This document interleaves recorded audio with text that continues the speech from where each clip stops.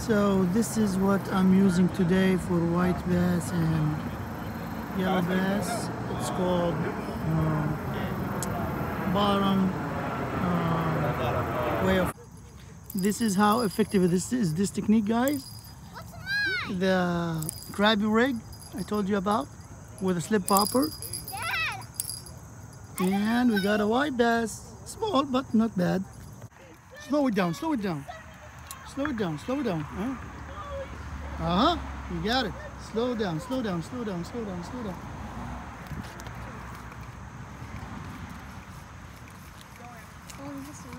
All right.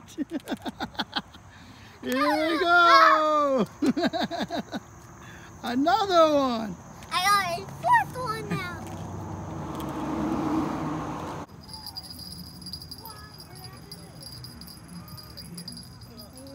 It's fish. It's a fish. It's a big one.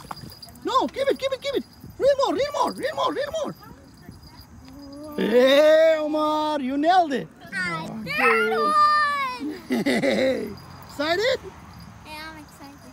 Thank you. Is this one good to eat? Yeah, it is good to eat. Okay, let's eat it. No, we have to release it small.